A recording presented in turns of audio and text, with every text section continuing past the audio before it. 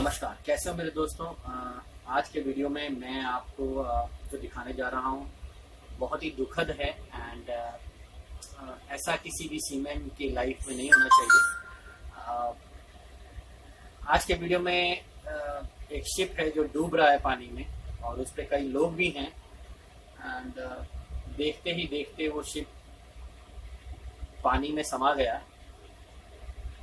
आगे आप खुद देखिए वीडियो में।